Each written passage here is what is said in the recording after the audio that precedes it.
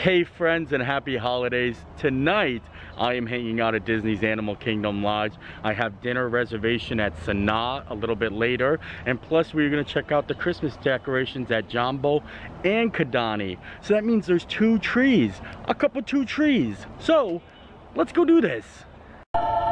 Listen to that music. Oh, I absolutely love the Animal Kingdom Lodge during the holidays. It's definitely up there in the top three Christmas trees on Disney property, I feel. I am pretty sure I can say the top three trees are Animal Kingdom Lodge, Wilderness Lodge, and Grand Floridian. That's for me. If you guys have a different set of three, let me know in the comments, but I mean, those are some pretty good trees. I always love walking in to Jambo House because you have these doors so it kind of keeps it hidden away. But then, whoop, that's beautiful, isn't it? As soon as you walk in to the left hand side, they have a nice little Christmas tree in the corner here. And usually they have somebody here doing some amazing craftsmanship. And take a look at this tree. Like this isn't this isn't the big tree. This is just a beautiful, elegant tree. I absolutely love all of the ornaments and I just love the colors. And the colors actually match throughout the whole resort. And then we're greeted with a beautiful wreath right here. And then for the big tree. This is gonna be so beautiful. Look at this, guys. Holy moly, right? This is why I say it's up there in the top three. Absolutely stunning. And there's basically nobody here right now. Jambo House has been pretty empty because there's not a lot going on over here. They don't have any eateries open. So like the lobby is not as busy as it normally is. So now's a perfect time to actually enjoy this tree. They have some of the coolest looking ornaments I've ever seen. It's just so beautiful. Wow, look at this big bow right here. And it's like a mini bow, kind of. Wow. I love how there's hardly any room underneath the tree. Like it goes all the way down to all the way up. Another really cool thing is all the garland that's actually going around the top two floors here. Just something pretty to look at. I also appreciate seeing all the Christmas lights as they reflect in the glass back here.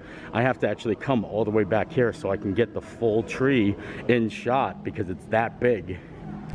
But look how pretty that is, isn't it?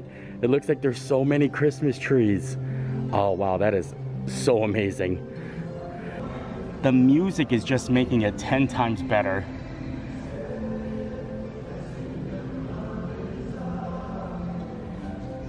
It's also really cool to just stare at all the artifacts that they actually have in the lobby. Like, take a look at these masks. This is pretty unbelievable, aren't they? Oh, look at this little guy down here. That's really awesome. I think I'm actually curious to go up a couple of levels and take a look at it from a downward angle just so I can see it from all different angles because it's beautiful. As we make our way to the elevators though, look at the little trees over here too. This is such a nice little cozy corner. Very, very relaxing atmosphere. I feel like I unnecessarily went too far, so now we're actually going back up to the top now. Time to go all the way up. Fifth floor. Actually, I think it's a lot better from up here on the bridge. Look at that view. I'm just obsessed with the Christmas trees and the lobbies at Walt Disney World. I mean, who wouldn't be? This is beautiful. We also get to take a look at this garland that's hanging from the rails, see if there's anything special about it. I mean, it's all special, but I want to see if they had some really cool ornaments. Like this is a very nice one. I just absolutely love the color scheming. It fits perfect with the Animal Kingdom Lodge and even the lights, don't you agree? Now I hop back down to the main level because I want to go outside and see if we can see any animals. I know it's a little dark out, so it might be a little tough, but you never know. And plus it's beautiful out there. Maybe we'll get a little fire as well. You can also hear like the African inspired Christmas music or holiday music right now too, a little bit better.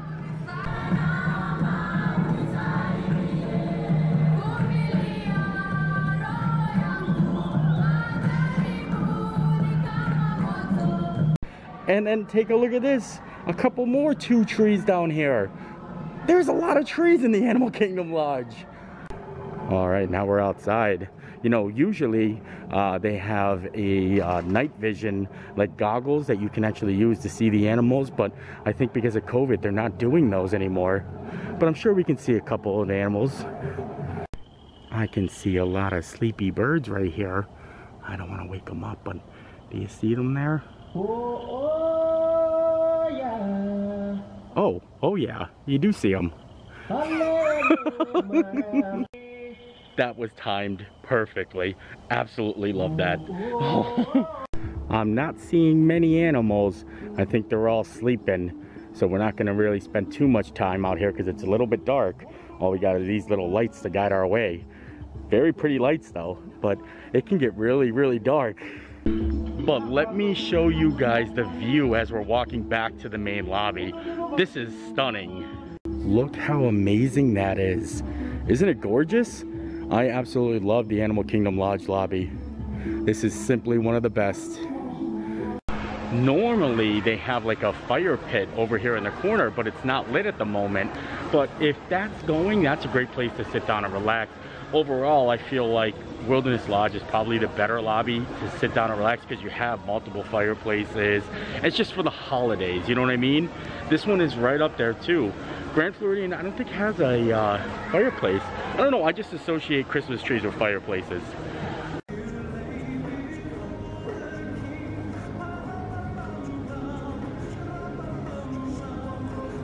Now I think we're gonna hop on over to Kidani and we're gonna get some dinner and then check out their resort Christmas tree plus all of their decorations. It's very beautiful over there. I don't know if we're gonna drive over, if we're gonna take the actual shuttle or walk. I think walking is 10 minutes. The shuttle runs every 15 minutes. But if we drove here, we might as well just drive over there. I think that's the quickest if you're not familiar with Animal Kingdom Lodge and how I keep on saying Jambo and Kidani Village is because there's two different kind of resort areas all surrounding the animal savannah. Right here we are in Jambo and then Kidani, like I said, is over on this side and that's where we're actually gonna have dinner. Right now, because of the current situation, there is nothing to eat over here so everything is on that side and it's just as beautiful, just a little bit tinier, a lot more rooms and a lot more space to see the animals animals though. I think we are just gonna actually drive over because I do wanna show you the sign out front. It's a little bit decorated, but it's still really cool to see.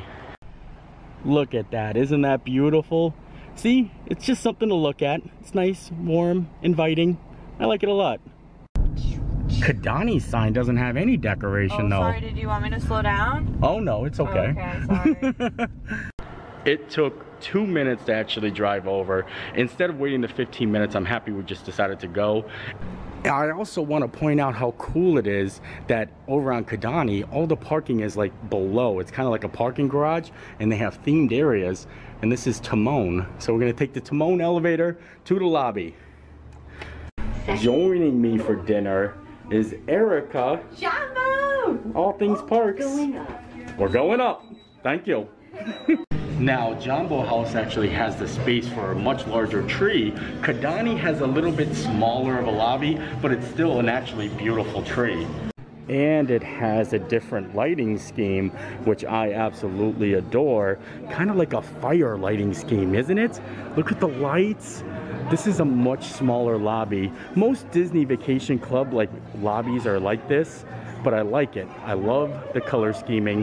This is a beautiful spot and it has some different ornaments on it as well including this little hidden Mickey down here. I'm so happy I spotted that. But I absolutely love this tree. It's not as big as the other one but it's definitely got some charm.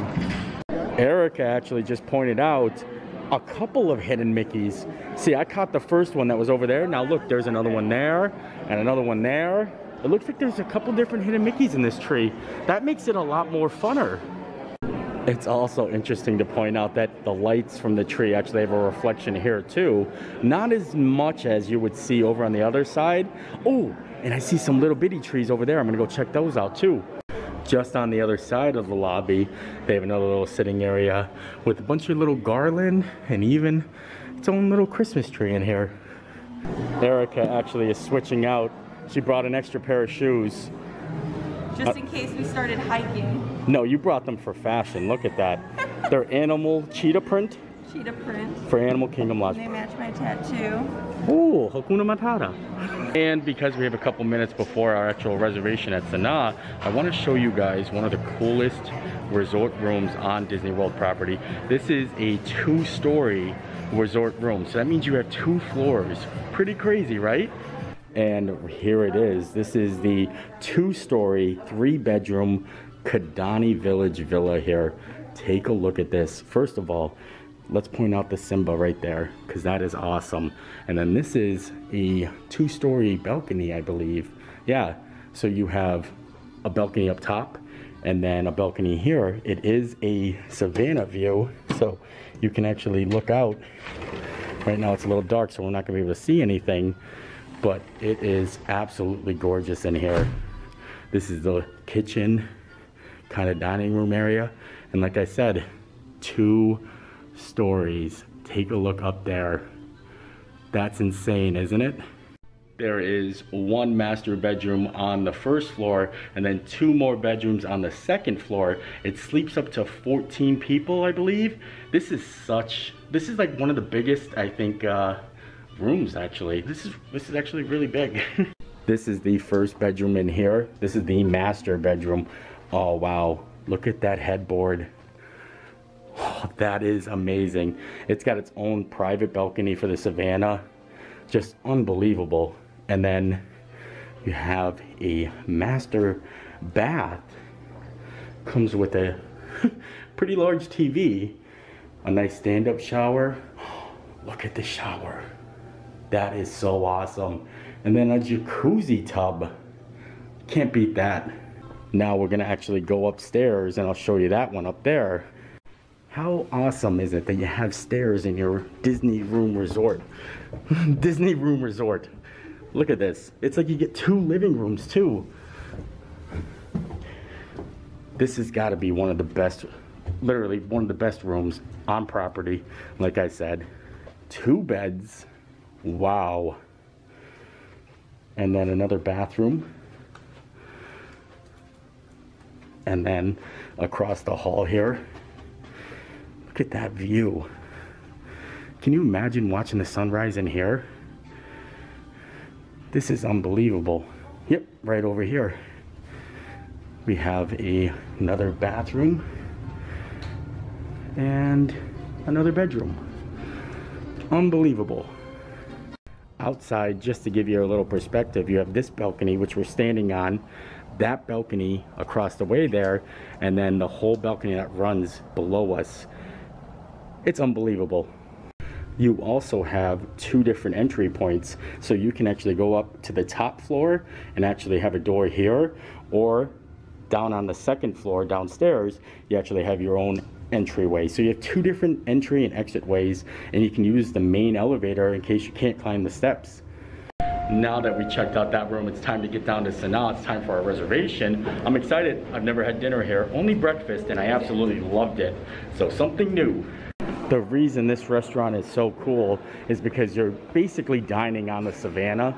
Now, we're not gonna be able to see many animals because, you know, it's dark out right now, but it's still got an amazing vibe to it we are all checked in for dinner and we're just waiting for them to let us know when the table's ready. So we'll actually go out in the Savannah viewing area and see if we can see any animals over here. They have to be really close to the viewing areas for us to see it because there's no lights out there. You don't want to keep the sleeping animals awake all night.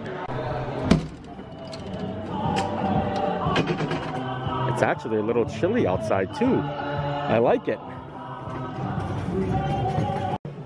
Well, we're not seeing any animals out here really. They have some nice rocking chairs and they would have a big fire pit right here too, but they're not doing the fire pit. It's hard to socially distance people when everyone's gathered by the fire. But taking a look out there, like I said, we don't see much.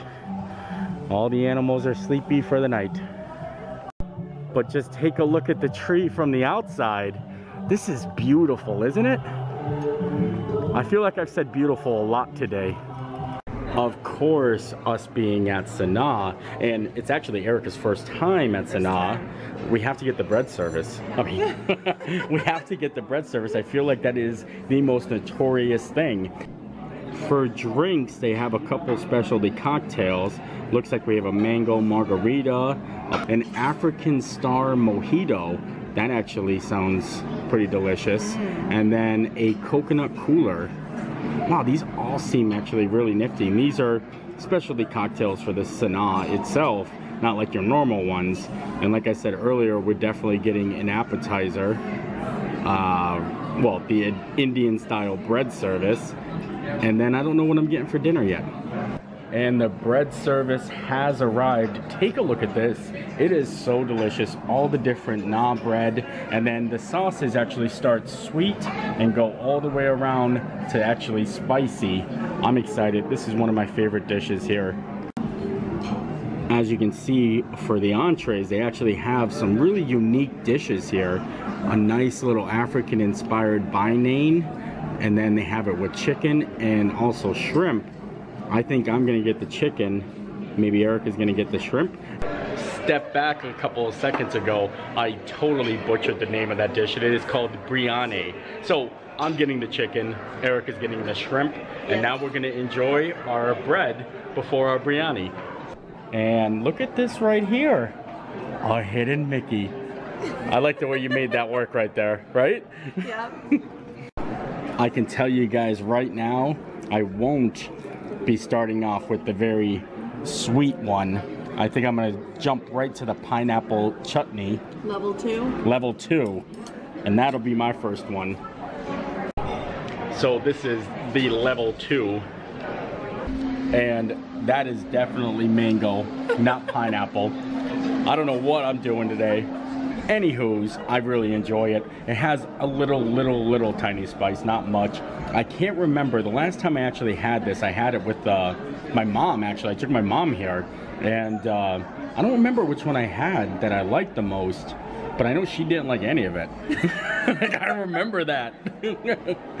now I'm trying level three, but with a different type of bread. There are five different types of bread, and like I said, all the different sauces. So the combinations are endless.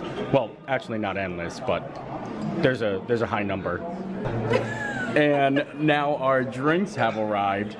Erica got the mango margarita, and I got the African-inspired mojito. Very fancy. Cheers, huh? Cheers to that. Cheers.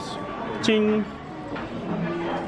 So far, we've accomplished almost all of these on the sweet side, and they're all very good. Erica just said this is basically hummus. I didn't try it because I don't like the way it looks. And I'm not sure about that one either, but I'm gonna try it. And uh, now we're gonna get brave and try more of the spicier side. Erica, can you please break bread? Thank you. so, how is your spice level? I cannot handle spice. You cannot I'm handle. green. All right, so now we are on the green one. We gotta see how you handle this. No pressure. No, it's not spicy. No spice. No spice. Okay, good, good. Did I just use Erica to basically tell me if that's spicy before I try it or not? I did. So now I'm gonna try the green one. but I wanted her to try it first because if she said it was spicy, I wouldn't have eaten it. Good news though, it was not spicy and I actually enjoyed it a lot. It was kind of like a, a pesto. And while we were eating the bread, it looks like our actual main entrees came out. Wow. That's the chicken right there. This looks so delicious, doesn't it? Looks so good. Yeah. And then that's the shrimp over there. Yummy. Very fancy.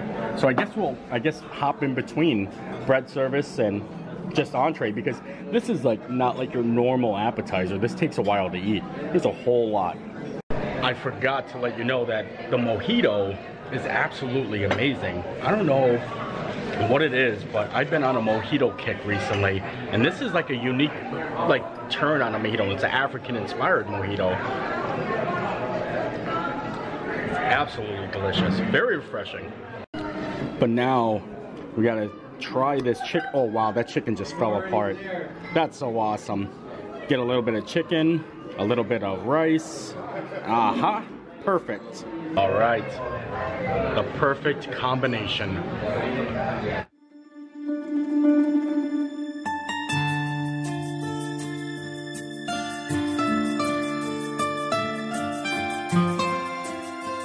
Yeah, that is absolutely amazing.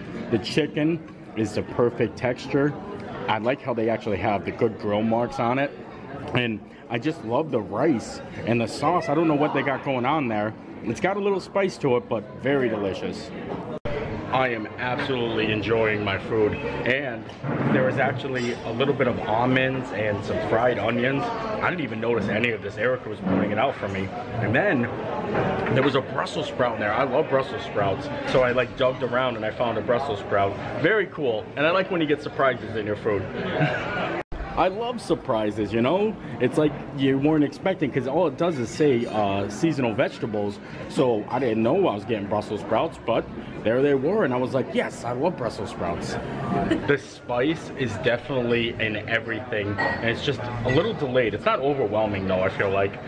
Before I actually get too full, because it's not like I'm not going to eat all of my entree, which I may have already done, I think I'm going to try the last two actual sauces and those are supposed to be the spicier ones. I mean, it's not like extreme spice, but the dish itself that we had was spicy already, so might as well go all in, you know?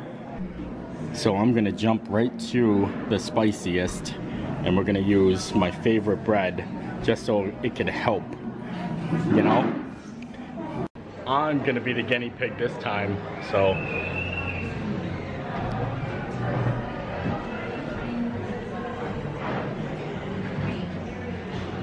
How you doing there, sir?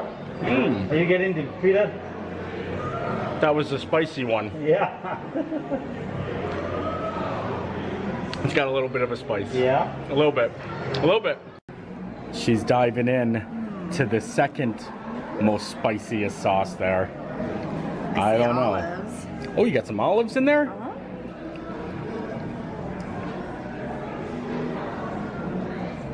Spice? No spice? Delicious? There's a kick, but mm-mm, it's not that spicy at all. Not that spicy.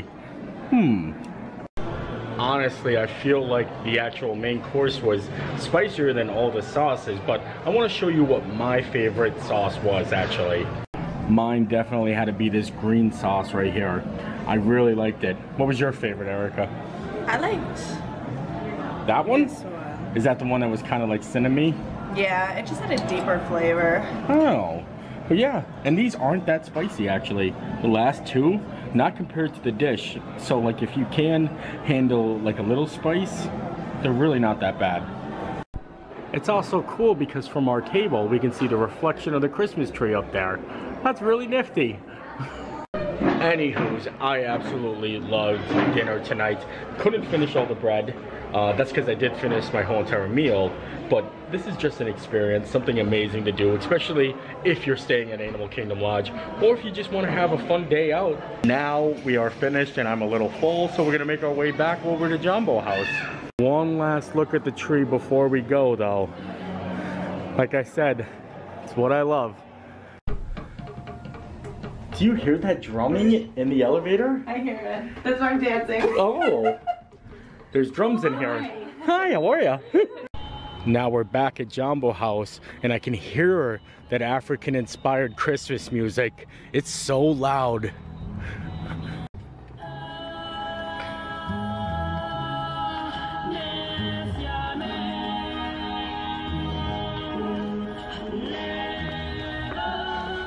And right here is actually the bus that goes back and forth from Jambo House to Kidani.